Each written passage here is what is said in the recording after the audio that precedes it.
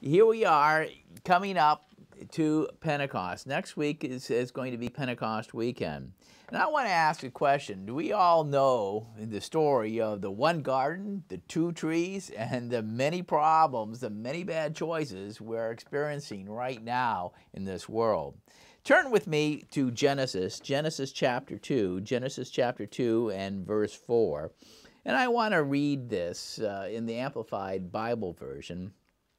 And I'm breaking in, of course, after a long account of the story of creation, that this is the history or the origin of the heavens and the earth when they were created at that time when the Lord God, which in Hebrew is Yahweh Elohim, okay, made the heavens and the earth.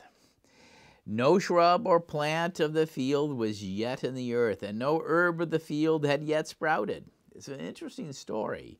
You know, eh, there was you, know, you, you realize there were very definite stages of things. For the Lord God had not caused it to rain on the earth, and there was no man to cultivate the ground. But a mist, that is, you know, something, the idea is something like a fog or a dew or a vapor. A mist used to rise from the land and water the entire surface of the ground. Verse 7 Then the Lord God formed that is, you know, it's literally the Hebrew here. He's formed. You can see it with his hands. He formed, okay, man. He formed man. He created the body of man from the dust of the ground. You get the idea, you get the picture of an artist who's working, you know, almost, you know, with clay and he's forming, oh, I want a little of this. This is the sense of what you get in the Hebrew. The Lord God formed man from the dust of the ground. Now, this is an interesting thing. It, you know, it, it's part of the Torah that was written by Moses, written somewhere in the 1400s BC. Now, you know, I understand there are lots of revisionist scholars who won't agree with that date and say it's much later. But even the, if you if you were going to say, ah, oh, well, it was only written when they were in Babylon or something like this, or during the time of the kings, you know, whatever it might be, it's still way, way, way BC, way, way, way a long time ago, thousands of years ago, before we had what we now know as modern science. And when it, the count here preserves, it says, The Lord God formed man from the dust of the ground. You know, the interesting thing is the essential chemical elements found in soil are also found in humans and animals. This scientific fact wasn't discovered until recent times, but God was displaying it thousands of years before our modern science finally came along. Isn't that amazing? Oh, but the Bible, you know, the Bible is one of these interesting books. It has a lot to say, and God said a lot in just a little at a time when people didn't understand what it meant. Anyways, the Lord God formed man from the dust of the ground and breathed into his nostrils the breath of life and the man became a living being. That is, you know, a complete individual in body and spirit. He became what we understand as now as a human being. And the Lord God planted a garden, and some versions will say an oasis, in the east. This is a reference not to uh, when he planted this garden. It's not to the you know reference to the creation of plant life that's earlier here in Genesis, but it's talking about God was planting specific he plants. He just like a gardener takes. Okay, I want uh, you know I, I want these trees over here, these bushes here, this type of grass over here, and I like the way it puts it together. The flowers I put it in. You know this is how it's putting. He planted a garden in the east, in Eden. The interesting word is Eden here means delight. It means a land of happiness. That's what it portrayed. The Lord God, you know, He planted this garden, specifically planted this garden in, in Eden, or the, the, you know, the place of delight, the land of happiness. Isn't an amazing thing? What is God's nature? You put just keep your finger here. We're going, to come, we're going to come back here to Genesis just a second, but let's turn to John in the Gospels. Let's go to the uh, to the uh, Apostle John, John's Gospel and chapter ten and verse ten, same with Amplified. And Jesus said, okay, later, you know, at this point in time, he says, a thief, notice this, a thief comes only in order to steal and kill and destroy. That's why thieves come, to steal and kill and destroy. Said, but I came that they may have and enjoy life and have it in abundance. To have this life to the full till it overflows. That was God's purpose. And that was when he, planted, when he formed man and planted a garden and put them there in Eden. That was his purpose, that they would have life and that they have it to the full and in abundance in this land of happiness, in this land of delight. And he put the man whom he had formed there in verse 9 and in that garden the lord god caused to grow from the ground every tree that is desirable and pleasing to the sight and good that is you know good being suitable it's pleasant for food and then he mentions this the tree of life was also in the midst of the garden not necessarily for food, you know, that wasn't, but if the tree of life was also in the midst of the garden. And the tree, and the way the, the Amplified puts it, the tree of the experiential knowledge of the difference between good and evil or the, the, the, the tree of the recognition of good and evil. Interesting. Let's go to Genesis here, stay in 2, and let's just skip down here to verse 15. Genesis 2, 15. I'll go here to the Holman Christian Standard Bible. Verse 15 And the Lord God took the man and placed him in the Garden of Eden to work it and watch over it. Okay, this, you know, from this aspect, you know, maybe you might call it workfare, whatever, you know, whatever you want to call it. He gave him a job to do. He just, not like he didn't have anything to do. He had this beautiful garden, but he had to work it and he had to watch over it. And anybody who has a garden, and I, and I have one, boy, yeah, it, this time of year, you're working it and you're watching over it and you're doing the things you need to do to keep everything productive and moving forward. Verse 16, and the Lord God commanded the man. Okay, commanded. Okay, didn't suggest. He commanded the man, You are free to eat from any of the trees of the garden that is, you know, you're free to eat it, it unconditionally. He's given and given access to it. All these trees, including, if you notice, the tree of life, you're free to eat from any tree of the garden, but, verse 17, you must not eat from the tree of the knowledge of good and evil. You, you mustn't eat it. You don't eat it. For on the day you eat it, you will certainly die literally, okay, that phrase in Hebrews, and dying you shall die. You know, Adam and Eve were created mortal physical beings. They would have eventually, didn't you know? and they did. as old as they got, as you find, as you can read later on in the scriptures and see, lived a long, long time, hundreds, you know, nine hundred some odd years, whatever it was a long time before, but they, you know, in dying you shall die because they're just physical beings. As opposed, there is, there is that other religious group uh, who is the mainstream of Christianity who has what they call this preternatural uh, concept of Adam in their church, and they think that well he would have existed as a as long as he hadn't uh, taken from the from the wrong tree, he, he he would have existed forever. That's what they think. Okay, I mean they went through this a whole theology for thousands of years, and I don't know how many books and pages are filled with that stuff, but that's what they said. But God said, and when He said, "But you must not eat from the tree of the knowledge of good and evil, for in the day you eat from it." you will certainly die, or in dying you shall die. Okay, because I, I mean, in other words, you know, that's that's the end type of thing. What he's saying. What was he saying? How do we know that uh, you know this concept of this other great church that's the largest in, in in Christianity, the largest group, that they're they're wrong in their doctrine here. That Adam, you know, before before he had sinned would have lived forever. Anyways, let's go to John chapter 3. John chapter 3 and verse 5. God had something in mind. There's a reason why he put the tree of life in the garden along with the tree of the knowledge of good and evil. But, anyways, John chapter 3 and verse 5, and I'm with the Holman Christian Standard Bible here. Jesus answered, I assure you, unless someone is born of water and the Spirit, water being baptism, the Spirit, of course, he cannot enter the kingdom of God. Unless you're born of repentance, okay, and then of receiving the Spirit, you cannot enter the kingdom of God. And then he explains this clearly, verse 6 whatever is born of the flesh is flesh. Okay, that should be simple. I mean, it's a straightforward concept. And whatever is born of the Spirit is spirit.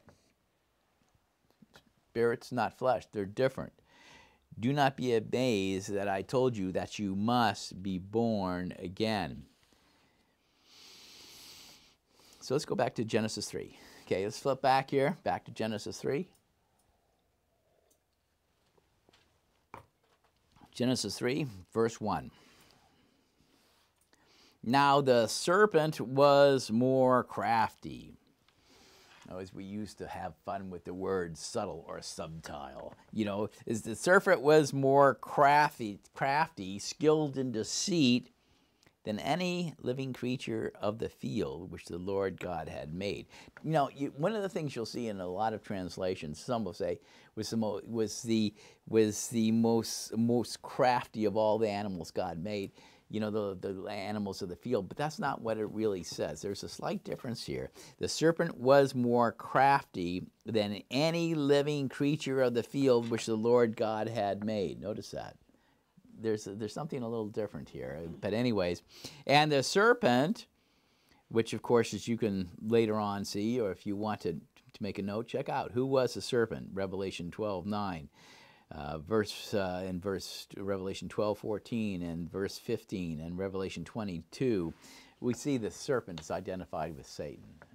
The Bible, that's what the Bible does at the end. And the serpent said to the woman, Can it really be that God has said, You shall not eat from any tree in the garden? And the woman said to the serpent, okay, you know, and this is the old question, you know, something comes up, looks like a serpent, and starts talking to you, you know, you know, Eve didn't know better than to not answer. You know, some people, if some weird people come up to you and start talking to you, don't answer. you know, turn and go the other way. If you're, you know, if you're at the transit station downtown, you know, and some person comes up and talks, is talking weird to you, it may not be what you want. you know, don't get involved. Don't bite. Anyways, can it really be that God has said, You shall not eat from the tree of the garden? And the woman said to the serpent, We may eat fruit from the trees of the garden, except the fruit of the tree which is in the middle of the garden. God said, You shall not eat, for, uh, eat from it, nor touch it, otherwise you uh, will die. But the serpent said to the woman, In dying you shall not surely die okay, you know, just total contradiction, a lie. For God knows, but this is his this is his rationale. For God knows that on the day you eat from it, your eyes will be opened. That is, you're going to have a greater awareness, and you will be as gods. Many translations will say, like God, okay, because he, you know the Hebrew word is here Elohim, you like God or as gods. What was the temptation that was being? They were going to be as gods. They were going to be, you know, this was this is what he was suggesting, knowing good and evil. You will be as gods, knowing good and evil. Or you will be like God, knowing the difference between good and evil. Those the way the Amplified puts it. But Coulter says you will be like God and deciding good and evil knowing here, the Hebrew word for, for knowing, uh, yada, is to, to ascertain by observing, by experimentation, to distinguish, to discriminate, to know by experience, to be acquainted with. You will know good and evil. You know, you're going to decide for yourself what those things are. You're going to put your own values on what you think is good, and you're going to say on your own values what you think is evil. And this is the origin of relativistic morality right here because it changes from times and places and people. It really does, and it has over the course of the story of humanity. We have in our own strange things of what we're doing right now, taking the, the fruit from the tree of the knowledge of good and evil, and we're making our own decisions in our society right now what is good and what is evil. So let's go back to Genesis chapter 3. Genesis chapter 3 and verse 17. Genesis chapter 3 and verse 17. And he, that is uh, God, said to Adam, Because you listened to your wife's voice and ate from the tree about which I commanded you, do not eat from it. The ground is cursed because of you, and you will eat from it by means of painful labor all the days of your life. It will produce thorns and thistles for you, and you will eat the plants of the field. You will eat bread by the sweat of your brow until you turn return to the ground, since you were taken from it. For you are dust, and you will return to dust. This is perhaps one of the hardest things for people to understand. All we are is physical beings, we're dust. We have this, this the, the breath of life from God, and He gives us a consciousness that we have this human mind. We're not going into that today. But that makes us different from the animals. But you know, all it does is it allows us, it allows our, our physical brains to have mind power and to think and to reason, to be like, to have that image and likeness of God. God did that, but we're still, you know, all we are is dust. All we are is dust. And in dying we shall surely, you know, we are going to die. I mean, that's that's the that's the end of the road for all of us because we're just physical. Now, you are dust and you will return to dust. Classically, this whole, this whole part here in Genesis 3 is called by theologians like Augustine of Hippo as the, the fall. Okay, the fall. After which, you know, after the fall, you know, according to this theology, human nature became utterly depraved utterly depraved. That's the way Augustine of Hippo, and he was a superstar of the uh, uh, of the Roman Universalist Church, the Roman Catholic Church. He said that human nature would be utterly depraved and human free will would become utterly corrupted, so it could only choose evil thereafter. yeah. Well, is this so? You know, God said, of course, that you have the, you know, you'll be deciding good and evil. Augustine said, yeah, they'll be deciding all right, and they're only going to decide for evil. Anyways, let's go to Genesis, staying with Genesis 3. Let's go to verse 22. So after he had after he had told Adam that you know you, you, are dust and you're just going to go back to dust. I mean that's the road you're on. The Lord God said, "Since man has become like one of us." This is interesting. The Lord God said, "Since man has become like one of us." Okay, who is who? Who is the us? It's not you know like me. he's, he's saying us. It's like he's speaking to a group of people, a group of beings. It's plural, very clearly since man has become like one of us. Remember, mankind was created in the image and likeness of God, Elohim, like us. Uh, so knowing that is deciding good and evil since man has become like one of us deciding making his own decisions taking to himself the right to choose what is good and, may, and decide what is evil he must not reach out and take from the tree of life eat and live forever that was the consequences. God said, "Oh no, we're not going down this road. You know, I'm not. You know, I'm not going to have all these people who are going to decide on. You know, you know, in the universe who are going to be deciding for themselves what's right and wrong and just making a chaos out of the place. I want a land of happiness. I want a land of abundance and peace. That's why I made Eden. That's what this whole experiment was about. That's what I started it as. So he must not reach out and take from the tree of life, eat and, and live forever. So the Lord God sent him away from the Garden of Eden to work the ground from which he was taken. And he drove man out and stationed the cherubim at the east of the Garden of Eden and a flaming, whirling sword, or a sword that turned every which way to guard the way to the tree of life. You know, the fact that this is, of course, entered into the memory of all the ancient Middle Eastern peoples is well known. I mean, one of their biggest symbols that they had in the ancient Near East was the tree of life symbol of the hope of a tree. See, they they knew the story. They had, they still even all those things, and then you see it in their art. The tree of life. It's, it was one of those prominent motives that was there. The Scythians had it. They had necklaces and all these other things. We still use this whole idea of the tree of life. It's part of our cultural iconography. It really is, and it was throughout the ancient world. Among, uh, you know, this is it's a major thing, and you see it preserved in the culture. And even the idea of these cherubim with their flaming swords, you know, and you you know the ancient peoples like the Assyrians and others had had you know did their sculptures of cherubims. You know, even on the Iraqi flag for a while, they still had the thing with the with the cherubim with the swords. You know, that was where it was from. It was an amazing, you know, of course we all say it's just mythology and all made up from this standpoint but but you know it's I don't you know you look at the the Bible is the book of beginnings, you know, and much of what the Bible you know has preserved for us is a clear account. In many other places, it became a garbled account.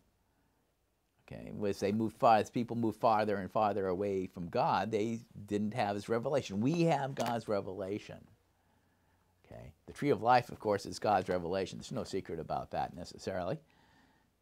But the tree of the knowledge of good and evil, deciding for yourself what is good and what is evil, you know, do your own thing in major way is very, very different. Let's go to Hosea.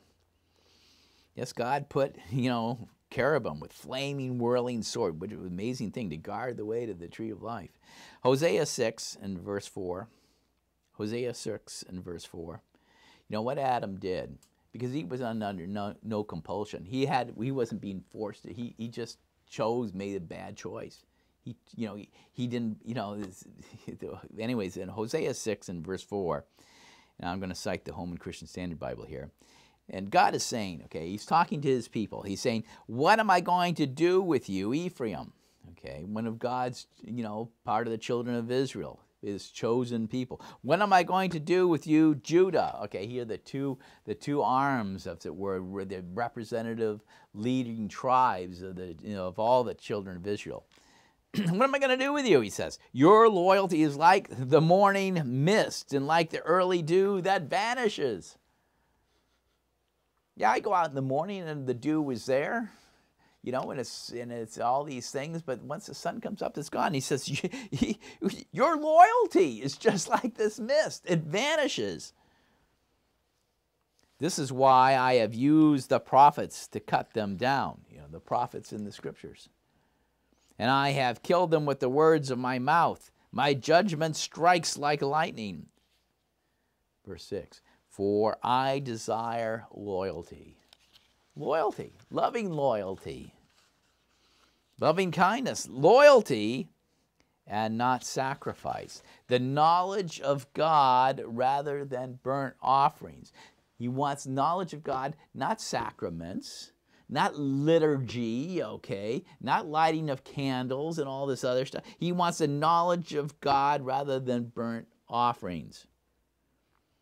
Verse 7 But they, like Adam, Okay, his people who should have known better, who were given his revelation, but they, like Adam, have violated the covenant. They have betrayed me, or that is, they have dealt faithlessly with me. They've betrayed me. They've dealt faithlessly with me. I had a covenant with them. I had a relationship, and they betrayed me. The world today vociferously insists not only upon rights, Human my, I want my human rights. but they insist upon their right to eat from the knowledge of the tree of good and evil. They definitely want to, you know, decide for themselves what is good and, and evil. And you know, it's even gotten to the point now in our society, they want to keep others from eating from the tree of life. they, they, they really do.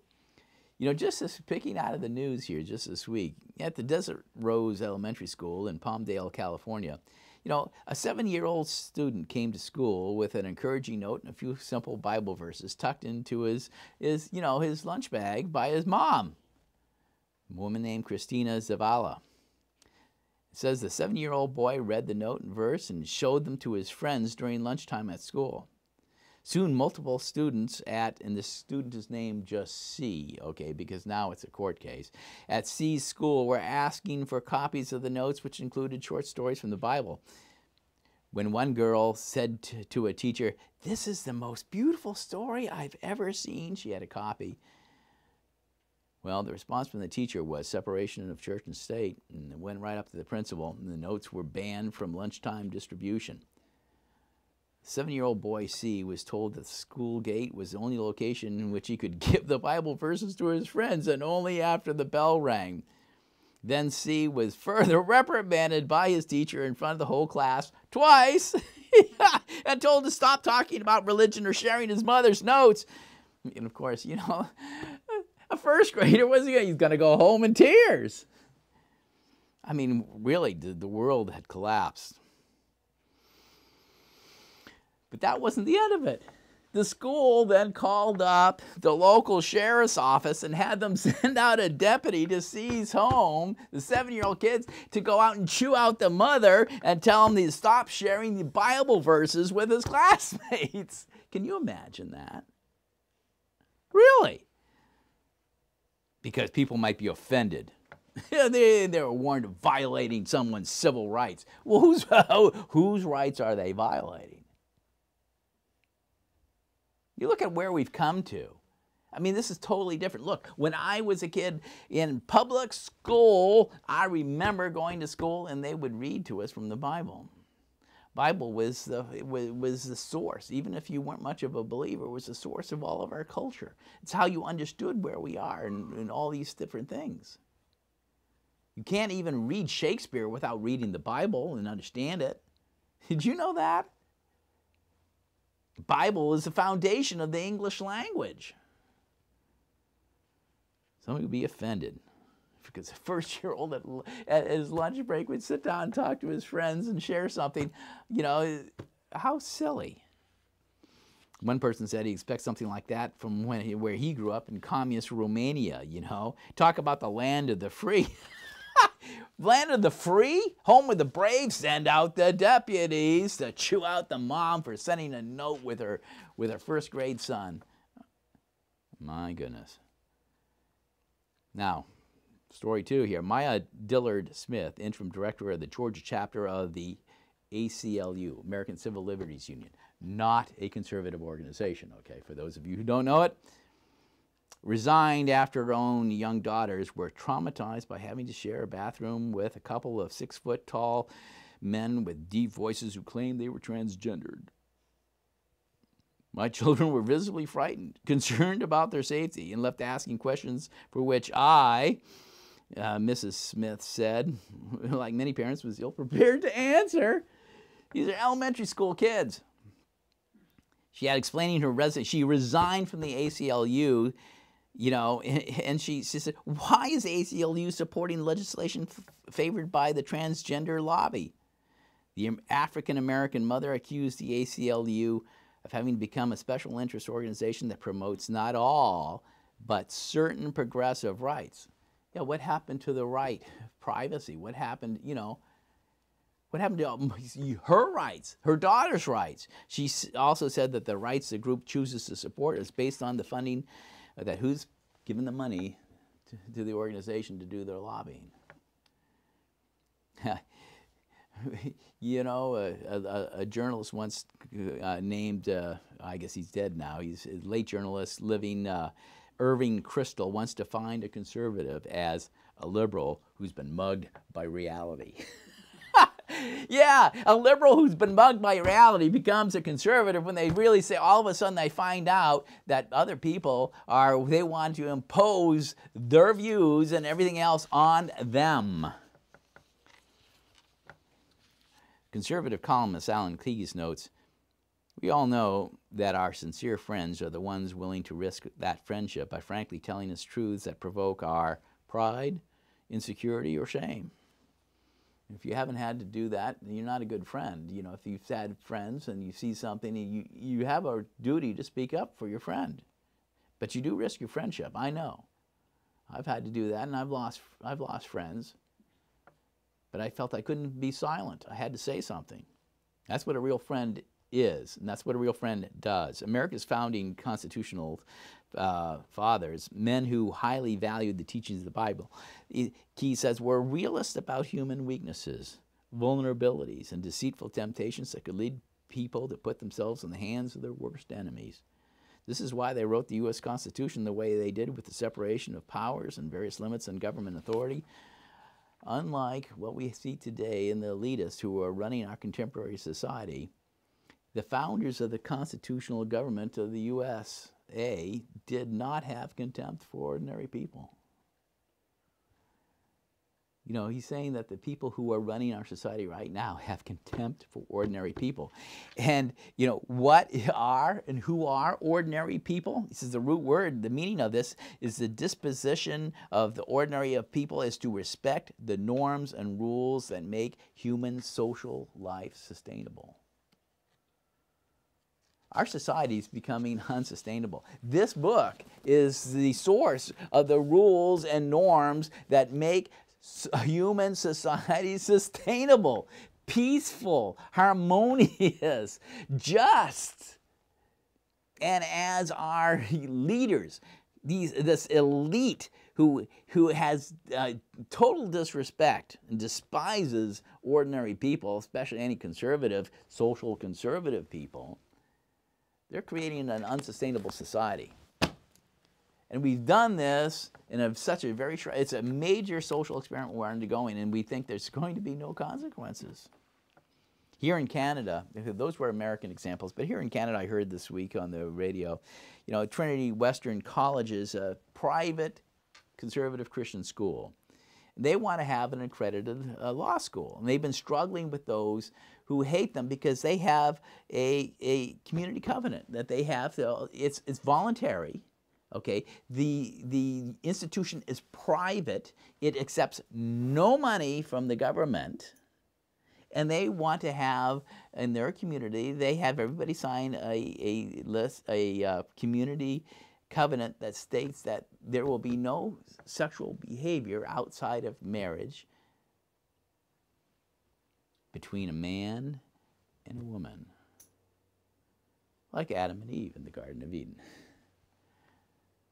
And this is, is, is a cause celebre in Canada these days. There are law societies that are going, you can't do that, you can't. I mean, what is freedom of association? What is freedom of religion? What is freedom, free speech?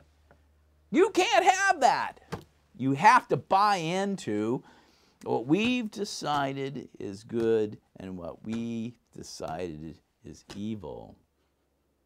It's all relativistic thinking. They are eating from the fruit of the tree of the knowledge of good and evil, and they don't even understand where they're coming from. And what's it going to mean? What's it going to mean? They don't want that institution to have the freedom to say, well, this is, you know, voluntary association. You don't have to go to that school.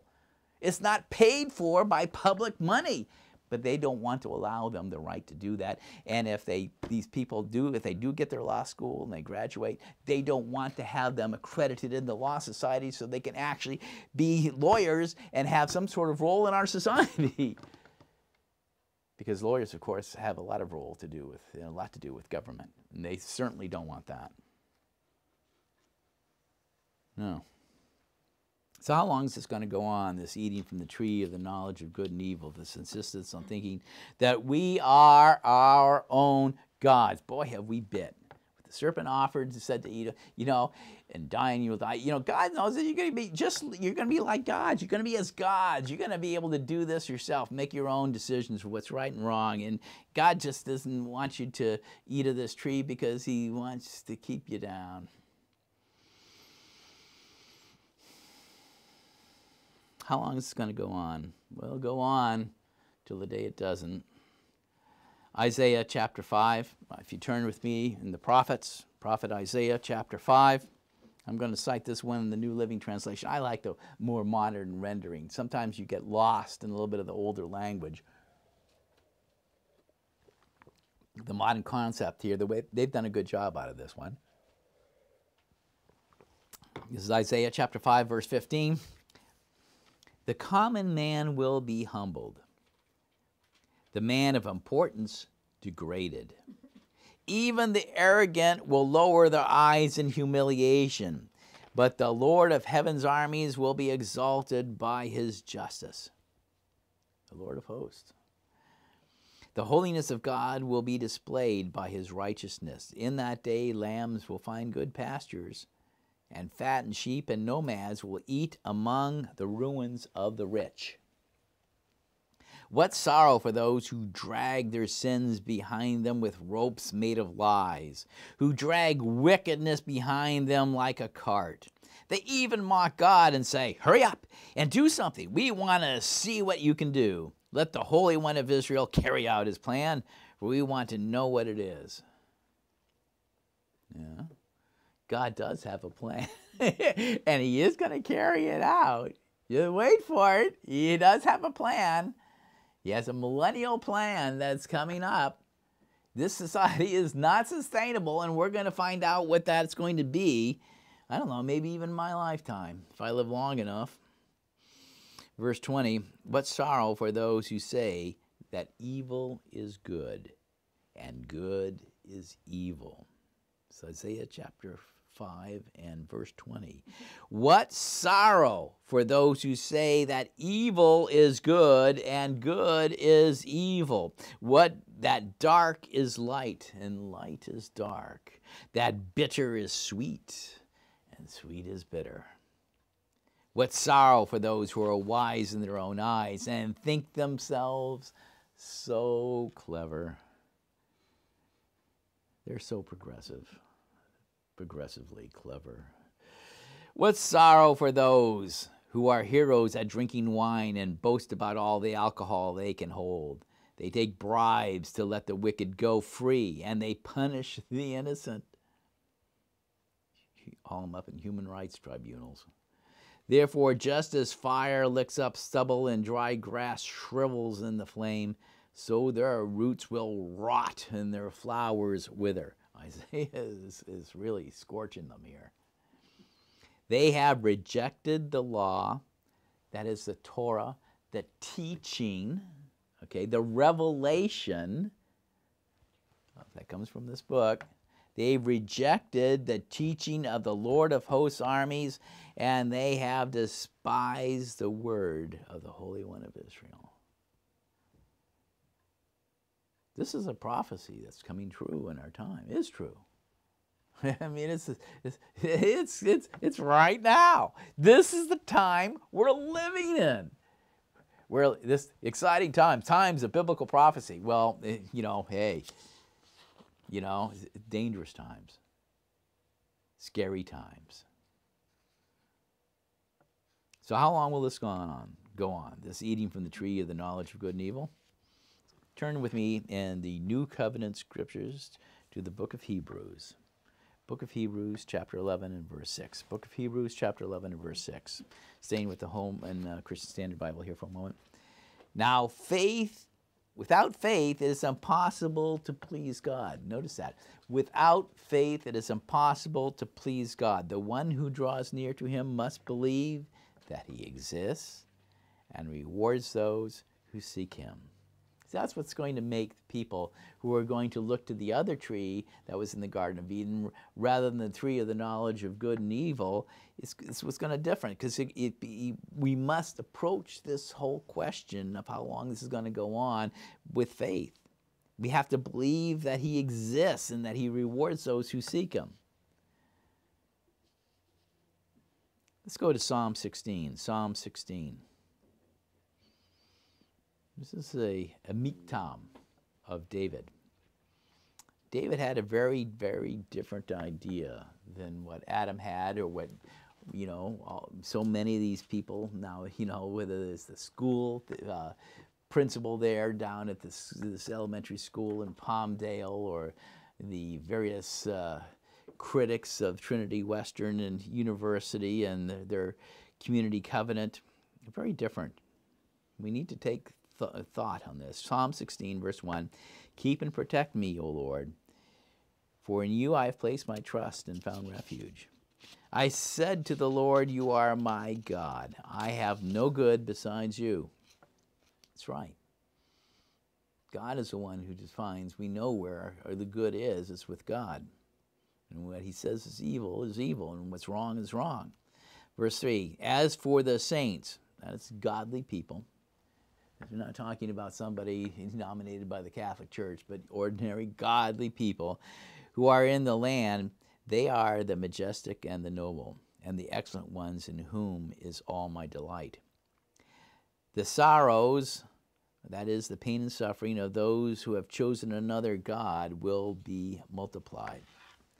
See, those who choose another God or make gods of themselves, is what, which is what we're doing now, worship, you know, just like the, the Greeks would worship as ancestor worship. Zeus and all this was old, they were actually is sort of a form of ancestor worship. But now we're worshiping ourselves. It's idolatry. The sorrows of those who have chosen another God, a God other than the Creator God, they're going to have sorrows pain and suffering. I will not pour out, David says, their drink offerings of blood. Of course, blood was an unclean thing, okay, which, you know, connected with idolatry, you know. Nor will I take their names upon my lips. The Lord is a portion of my inheritance, my cup. He's all I need. You support my lot. The boundary lines of the land have fallen to me in pleasant places. Indeed, my heritage is beautiful to me.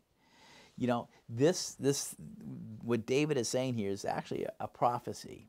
It's a prophecy of the coming kingdom of God, of the millennial kingdom where the saints, the, those who are godly, will have a heritage. And it's going to be a, a great heritage. This is what he's promising them. Verse 7 I will bless the Lord who has counseled me. Say, where does he get his counsel? David, you know, you know, the beloved of God, he got his counsel from God. He didn't look inside to himself say, Well, I'll figure out myself what's right and wrong. David didn't do that. I will bless the Lord who has counseled me. Indeed, my heart instructs me in the night. I have set the Lord continually before me because he is at my right hand. I will not be shaken. David had a lot who opposed him, by the way, when you read through the story of David. Verse 9 Therefore my heart is glad, and my glory rejoices. My body too will dwell in safety. That's confidently, he has this confidence. Verse 10 For you will not abandon me to Sheol. You're not going to abandon me to the grave, to the place of the dead, nor will you allow your Holy One to undergo decay. We know this was a messianic prophecy. But it's also true of the saints and God's holy ones. Verse 11, you will show me the path of life. You know, what that's going to lead to the tree of life. You will show me the path of life. In your presence is fullness of joy. In your right hand there are pleasures evermore. It was the Bible's God that created Eden. It created it as the land of happiness, the land of joy, the land of abundance, the land of peace. But, he, but our human answers is instead they wanted to be gods, their own gods. And so they wanted to take to themselves what they thought was going to, you know, make up their own minds of what was right and wrong. And, and you know, the story is they always chose what was wrong. And we have, you know, so often, so much of the time, too much of the time, too much of the time. Look at our world right now. It's this mixture, good and evil. Let's go to Hebrews 2. Hebrews 2 and verse 6. Hebrews 2 and verse 6. One is testified somewhere in Scripture saying, What is man that you are mindful of him? Or the Son of Man that you so graciously care for him, you know, that you plant a garden for him, you formed him with your own hands. You have made him a little lower in status than the angels. You have crowned him with glory and honor. You set him over the works of your hands. See, all these things talking about what he did at Eden, what God, the Creator God, did in Eden. You have put all things in subjection under his feet. Now, in putting all things in subjection to man, he left nothing outside his control, but at present we do not yet see all things subjected to him. Oh, yeah, there's a lot that's subjected to man, but not everything. But we do see Jesus, who was made lower than the angels for a little while by, by taking on the limitations of humanity, the Amplified adds there, crowned with glory and honor because of his suffering of death so that by the grace of God he might experience death for the sins of everyone. For it was fitting that God, fitting for God because it's an act worthy of his divine nature, is fitting for God that he, for whose sake are all things, and through whom are all things, in bringing many sons to glory, should make the author and founder of their salvation perfect through suffering. Jesus had to, you know, he he God the Father decided, you know, in, in, in making the, salva- the the Savior of humanity, bringing him to maturity, he had to have a human experience necessary to be perfectly equipped for his to exercise his office of high priest. And now in this present world, we too are having our experiences, living in a society that's eating from the wrong tree so we'll be fully prepared for our roles in the coming kingdom of God to serve as kingly priests. Because we'll know the end results of a society that eats from the knowledge of the tree of good and evil. We'll know it. We won't have to guess. We'll have lived it. Verse 11, Hebrews 2, verse 11 both Jesus who sanctifies and those who are sanctified, sanctified being spiritually transformed and being made holy and set apart for God's use, those who are sanctified are all of one Father. And for this reason, he's not ashamed to call them brothers and sisters. And that's our ultimate where we're going, is to be Jesus' brothers and sisters. Let's go here to 1 Corinthians 15. 1 Corinthians 15. And verse 21, staying with the Holman Christian Standard Bible, for since death came through a man, the resurrection of the dead also comes through a man. For as in Adam all die, so also in Christ will all be made alive, but each in his own order. Christ, the first fruits. You know, we're coming up to the feast festival of first fruits. After, afterwards, at his coming, those who belong to Christ. Then comes the very end, the end, when he hands over the kingdom to the Father, when he abolishes all rule and all authority and power. Anything established contrary to God. Anything that came from the fruit of humanity eating from the tree of the knowledge of good and evil. It's all going to, you know, it's all going to be, you know, abolished. He's going to hand it over, the kingdom to God. You know, this is an interesting thing because it's talking about how, talk about progressive, how the kingdom of God progressively spreads and progressively grows to affect humanity. For he must reign until he puts all his enemies under his feet. The last enemy to be abolished is death. Remember right from the beginning there in the Garden of Eden, as he said to Adam and he said to Eve, In dying you shall surely die if you take the wrong tree. Let's go down here and see in 1 Corinthians 15 to verse 45. The first man, Adam, became a living being. The last Adam became a life giving spirit. However, the spiritual is not first, but the natural, and then the spiritual. The first man was from the earth and made of dust. The second man is from heaven. Like the man made of dust, so are those who are made of dust, just like what we are right now. Like the heavenly man, so are those who are heavenly. And just as we have borne the image of the man made of dust, we will also bear the image of the heavenly man, Jesus Christ. Verse 50 Brothers, I tell you this flesh and blood cannot inherit the kingdom of God, and corruption cannot inherit incorruption.